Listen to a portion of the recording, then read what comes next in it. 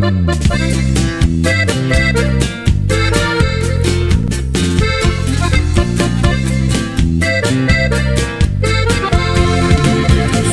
15 años tenía cuando esa historia pasó. Allá en Colotlán, Jalisco, presente lo tengo yo. A María del Carmen la güera, esto fue lo que le sucedió. 87 que Pedro la enamoró y por azar del destino una traición le jugó, confesándole a su madre que ella a él se entregó. Su madre muy enojada a su hermano le contó y Martín lleno de rabia a la güera maltrató.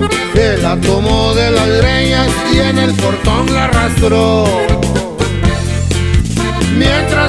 Gritaba, ahorita regreso yo. Voy a ver ese canalla que a mi hija deshonró. Al transcurso de dos horas, su madre se regresó. Y transcurriendo dos días, la boda se celebró. Y ahí le va güera su corrido. Y arriba las mujeres que no se rajan, oiga. Su partida a la frontera llegó, cruzó los cerros y valles y en el puente se escondió. De ahí llegó hasta Curry River donde comenzó su dolor. Huertas y ríos caminaba retorciendo de dolor que su marido borracho con la vara le arrimó. Mucho sufrió por la vida, pero jamás se rajó dio por vencida y enfrentó a ese cabrón que tanto daño le hacía y hasta el divorcio le pidió.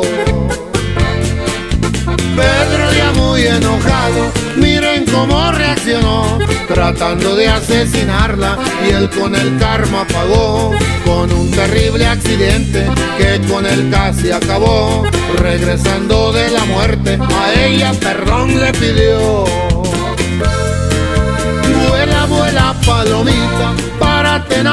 Portón donde empezó la güerita su amarga desilusión.